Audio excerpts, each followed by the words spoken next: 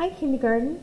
Today we're going to be starting a new project. We are going to be making a sun using different kinds of lines to make the rays that come off of the sun.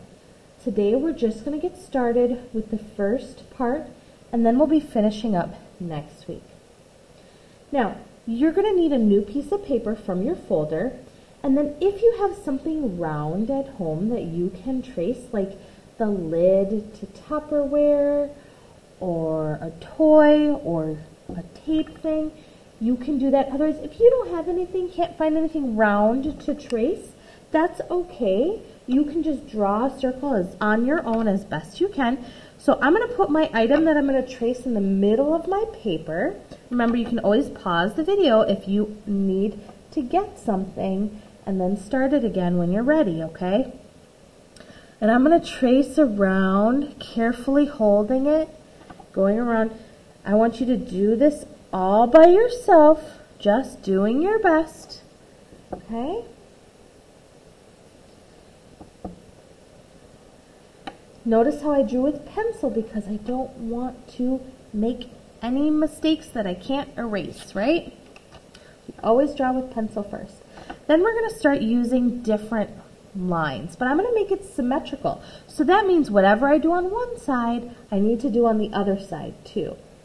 So first, for my symmetrical line, I'm going to do a straight line. Now if I did a straight line up top, I need to do a straight line on the bottom.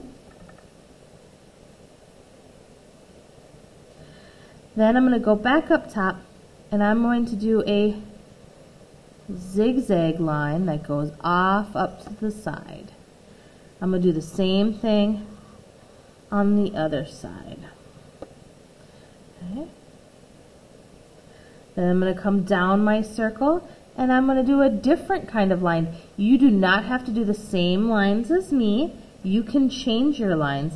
I'm just showing you how I'm going to do it. I'm doing some curvy lines. If you like my lines and you want to do them the same as me, that's great too. Next, I'm going to do some curly lines out on both sides. I'm going to come back down and around and I'm going to do a bumpy line.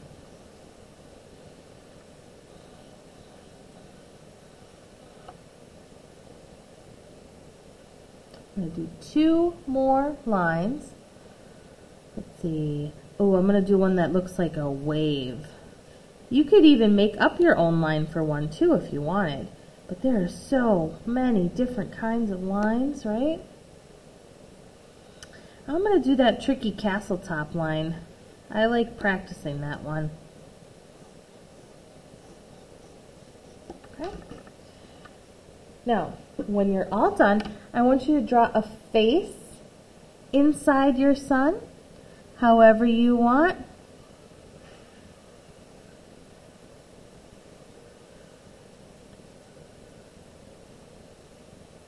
I'm going to have a happy little smile. You can make yours different. Then you're going to use your Sharpie marker and you're going to carefully trace over the top of all of your pencil marks until you are done tracing everything. So make sure you trace all of your lines, trace your face, Trace your circle. When you've traced every single thing, am I done? No, I'm not done, but I'm not going to trace the whole thing for you. I'm going to let you go ahead, trace it, and then go back, and if there's any sneaky pencil marks that are peeking out, you can erase those, okay? Next time we're going to talk about how we're going to add color to this. So first, draw today, trace, and erase. And then save this in your folder for next week. Have a great day, you guys.